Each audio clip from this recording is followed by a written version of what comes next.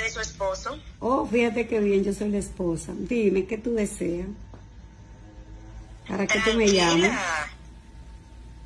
Yo no le estoy llamando ni en son de pleito ni buscando hacerle alguna maldad.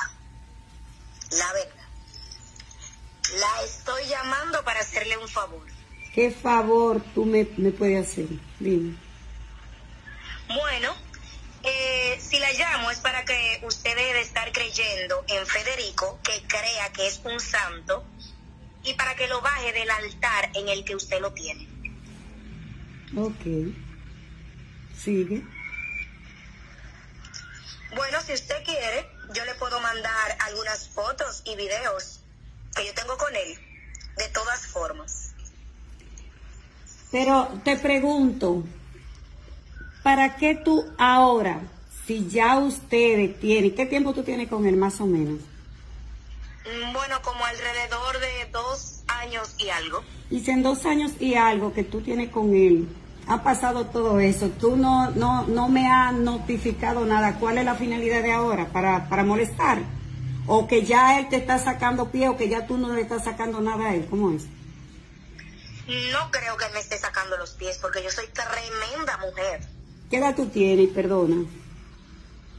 26. 26 años. Mira la edad y las condiciones de Federico. ¿Tú crees que una, una joven, que me imagino que por tu, en la manera que tú hablas, me imagino tu perfil, ¿tú crees que tú has debido de estar perdiendo tiempo con una persona en las condiciones y en la edad de Federico, cuando Federico y yo somos casados? Eh, no nos vamos a divorciar. Eh, en realidad no me interesa divorciarme. ¿Sabe por qué? Porque si mi divorcio eh, me toca la mitad de lo que tenemos.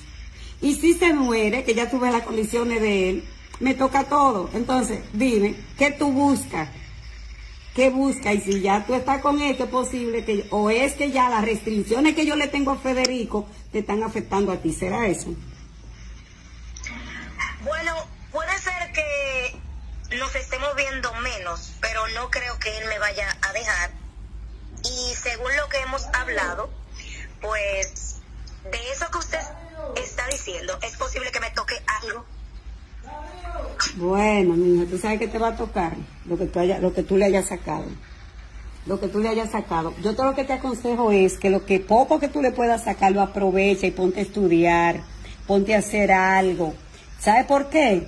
Porque el tiempo pasa y la juventud a veces no piensa en el solamente piensan en el momento, pero no piensan en el futuro. Yo eso te lo doy de consejo como si fuera una persona que debería estar un consejo.